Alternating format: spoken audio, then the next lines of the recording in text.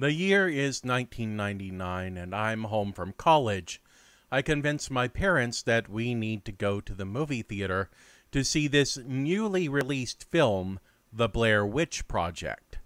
As someone interested in low budget filmmaking, I've been following the story of Blair Witch's making for a long time, ever since I caught a few minutes of preview footage on an independent film channel show, where it was presented as possibly being real documentary footage. This approach to blurring the line between storytelling and reality, making the real world release of the film into a part of the narrative itself, was mind blowing, and I wanted to experience it firsthand. And also, the newly minted theater major inside of me wanted to experience a movie that had no script, where the actors improvised their way through a world that was being created around them by the filmmakers. My parents did not really share my passion for the horror genre, but they had seen enough about the movie to be interested in seeing how it turned out too. We went to our local Cinemark, and for an hour and 21 minutes, I was transfixed by what I saw on the screen. It felt raw, it felt real, it felt convincing. I left the theater practically in a daze, and my father was shaken by the movie too. We stood for a second talking about how the film was just so unsettling until my mother joined us in the hall.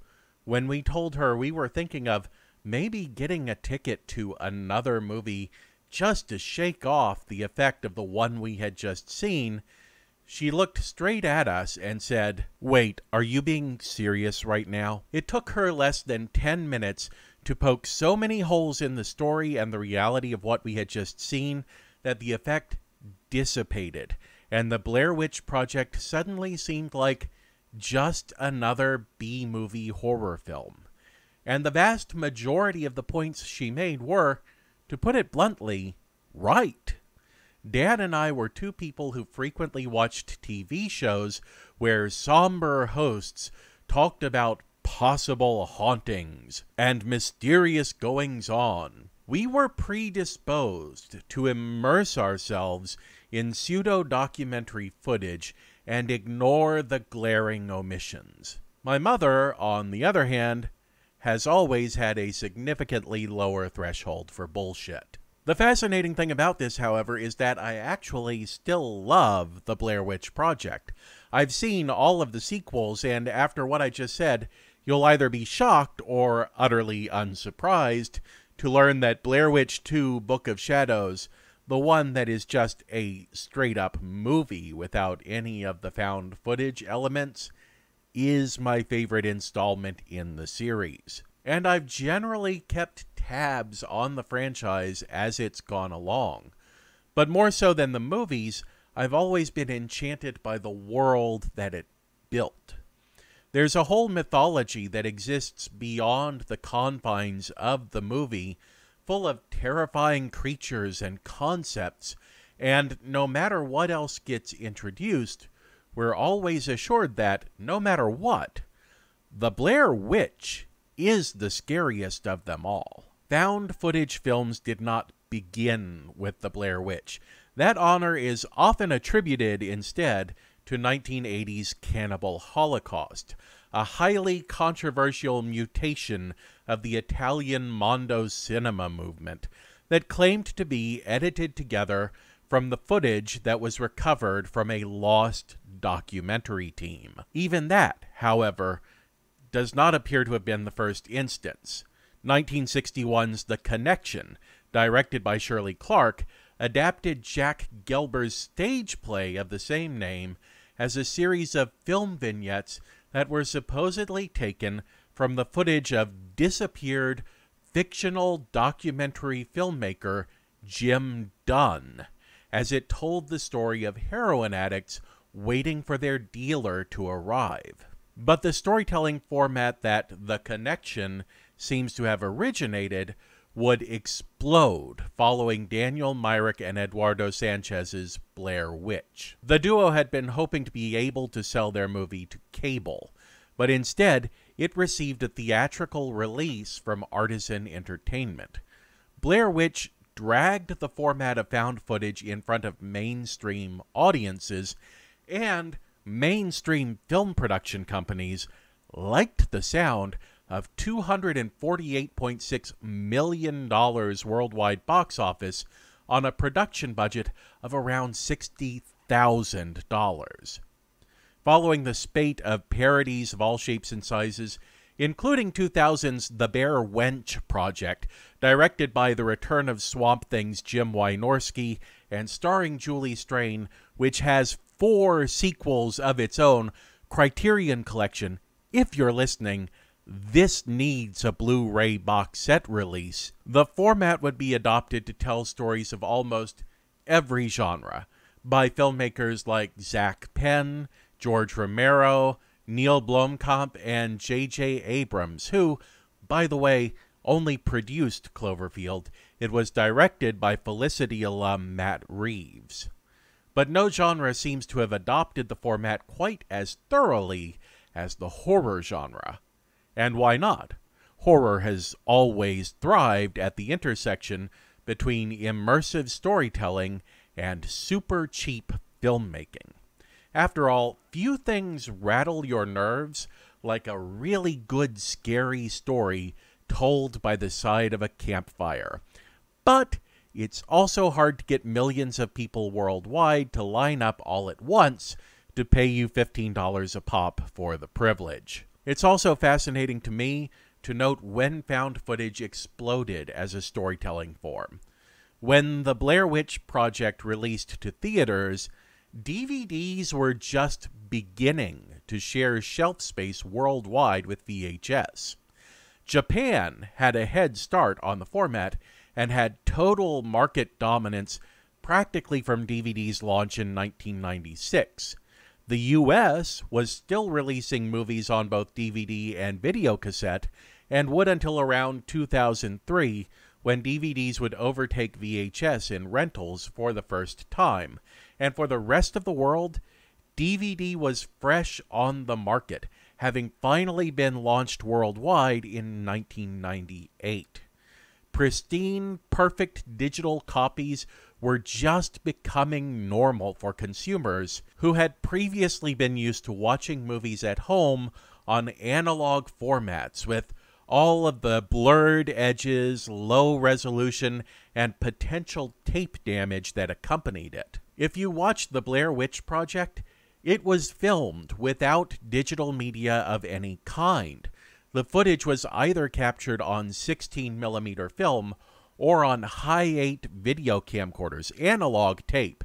The tape based Digital 8 format would release literally the same year that Blair Witch hit theaters. And the availability of high quality cameras has trended upward steadily ever since, to the point that you more than likely carry a camera capable of shooting footage better than anything used in the production of the Blair Witch Project in your pocket every day. With the end of the HD format wars in 2008, Blu ray meant that people could now watch movies at home in crystal clear 1080p, and many people, myself included, I have to admit, saw analog home formats like VHS as dead and unlamented media that had served its purpose in its time, but surely wouldn't hold any value in the future. It turns out we were wrong. Art is a highly subjective product, and people like what they like. There is ultimately no objective way to speak to an individual's taste. Lines of resolution, color accuracy, sharpness of focus, fidelity of reproduction, they may all speak to a higher quality of format, but they don't matter when an entire generation remembers sitting on the couch with a bowl of buttered popcorn and watching the old VHS of Ghostbusters that they rented off the wall at the Curtis Mathes. Yes, I'm talking about even before Blockbuster. While not all nostalgia is great, neither is all nostalgia toxic. And a lot of people love that analog feel. Even more than picking up weird VHS tapes on Friday night for your weekend rental, however, people who grew up during that era have fond memories of pre digital local television. Las Vegas is watching Full House right here on Channel 13. The channel graphics that always tried to impress you with how futuristic they were. The commercial breaks, dotted with program listings for the upcoming three or four shows. The strange late night programs that you'd find on local television, all occasionally captured on your home VHS set these are powerful images to the audience who was raised on cathode ray tubes. And to audiences who have grown up in the era of pristine digital, where 1080p is already low resolution, they evoke the feel of a long forgotten relic dredged up from some forgotten archive. A VHS in a generic cardboard sleeve labeled with a post it note is the modern era's reel to reel tape found in a cabin in the woods, which was the 1980s equivalent to 1940s horror's handwritten book bound in human skin. Who knows what you'll find? It might be great grandma's favorite recipes. It might be a doorway to a dimension crafted entirely from suffering, or it might be two old naked people doing it.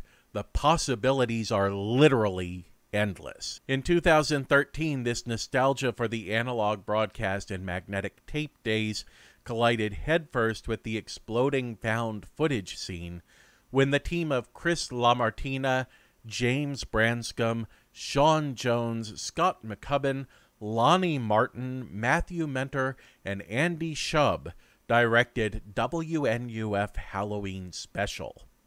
It drops the typical found footage backstory of being the recovered footage of a lost documentary crew or being footage filmed by a missing person, and instead takes on the shape of a locally produced Halloween special from a television station that, we are told, originally aired live in 1987 and had been considered lost until a VHS copy was recently discovered. Shot on a budget of only $1,500, the movie captures the feel of an 80s broadcast in spirit, if not in 100% accuracy, with LaMartina calling it a love letter to VHS and public access TV. To get that accurate analog feel, LaMartina shot much of the film on actual vintage tape stock, and after editing it all together, mastered it to VHS, where he then made a VHS copy of the VHS, and then a VHS copy of that copy, and so on, in order to get a completely realistic loss of picture quality. And in a promotional move that I think is more than comparable to the Blair Witch Project's Is It or Isn't It Whisper campaign, the production team seeded VHS copies of their movie around events like a Pennsylvania VHS convention where original tapes of rare and bizarre local programming were likely to be traded and sold. While WNUF Halloween is not exactly like previous found footage movies, it has a lot in common, not the least of which is that it still follows a standard movie story structure. Found footage movies are still movies.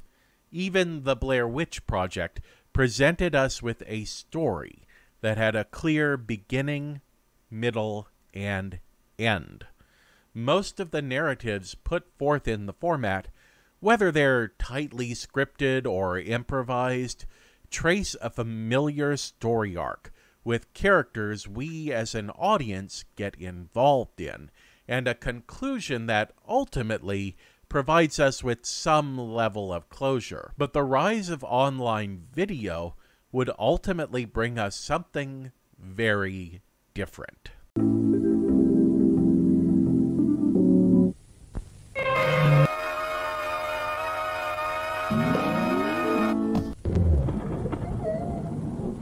By 2015, Chris Straub was no stranger to online media. He had made his debut as a web cartoonist in 2000 with Checkerboard Nightmare, and in 2006 he had partnered with Scott Kurtz to produce animated versions of Kurtz's popular PvP webcomic. He was also very active in the creepypasta community, the internet equivalent of those fireside scary stories, creating one of my personal favorites, Candle Cove, in 2009, which would later become the basis for the first season of Syfy's Channel Zero. In 2015, Straub released two short films that he had edited together using Apple's iMovie software. Weather Service and Contingency first appeared online on their own website. The videos presented are purported online posts from the archive of Mason County, West Virginia's Local 58, with each video seeming to be a moment throughout the years when their broadcast was hijacked by some unknown entity or entities. Whatever it is that's interrupting Local 58's signal, however, it doesn't seem to have our best interests at heart.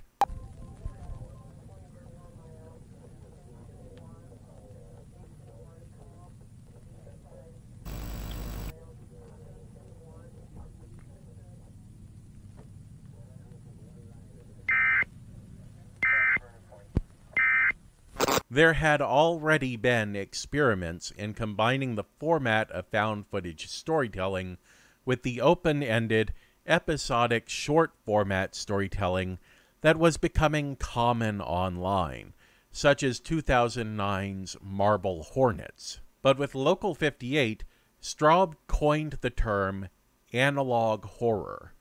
CHSS, another foundational analog horror series, would launch the following year on YouTube, and then in 2017, Straub would move Local 58 to the YouTube channel Local 58 TV, where it still resides today, and where countless other analog horror projects have sprung up. While fans have attempted to construct an overarching narrative, and Straub himself has hinted at a deeper story, the individual videos all stand alone as sole moments of the weird and uncanny.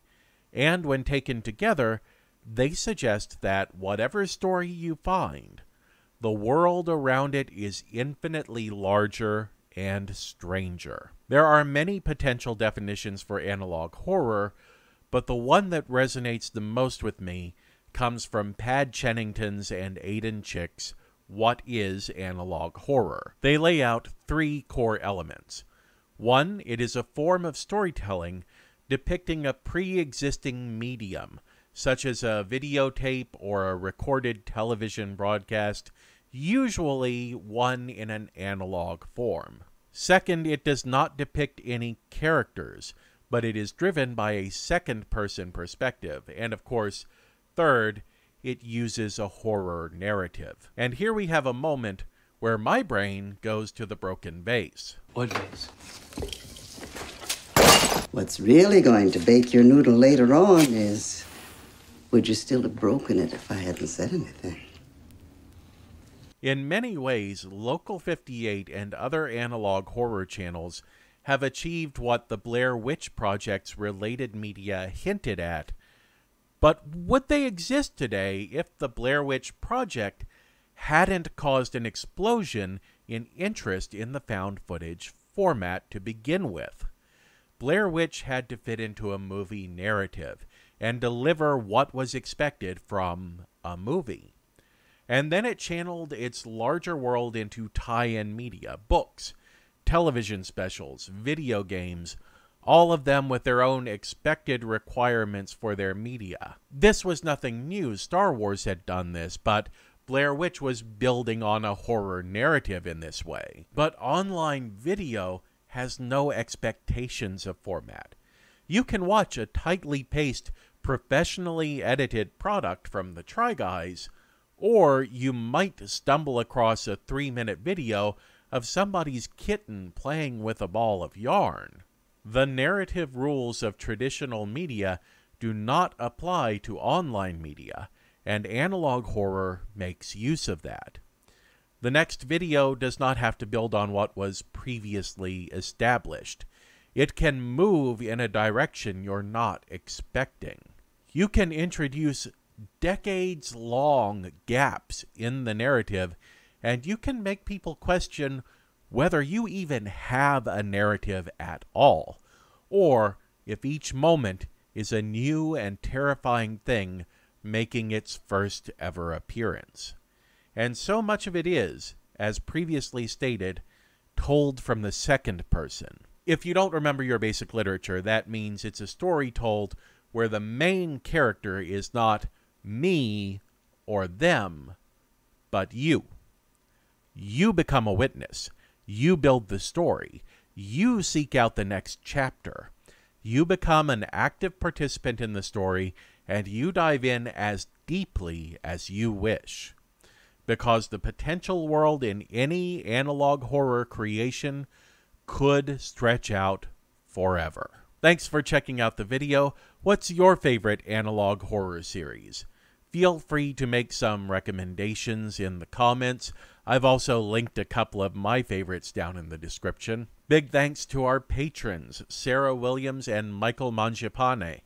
If you're in a position financially to help the channel grow, you can find our Ko-fi and Patreon links in the description as well. If you're not, then I'm still happy that you're here with me, and thank you for sticking around. Make sure to click like and subscribe if you haven't already, and feel free to share the video with your friends. It really helps out the channel, and after all, sharing is caring. Until next time, watch like it means something.